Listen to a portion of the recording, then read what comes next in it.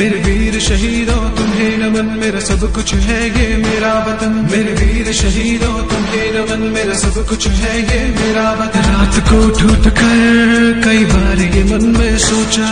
अखिल भारतीय मंसूरी समाज पार्टी के नगर अध्यक्ष डॉक्टर हसन की ओर से सारे देशवासियों और क्षेत्रवासियों को 26 जनवरी की हार्दिक शुभकामनाएँ।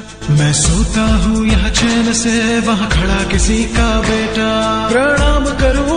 को, जिसने उस शेर को पाला, सब त्याग के अपनी खुशियाँ सरहद पे भेज डाला। वंदे मातरम वंदे मातरम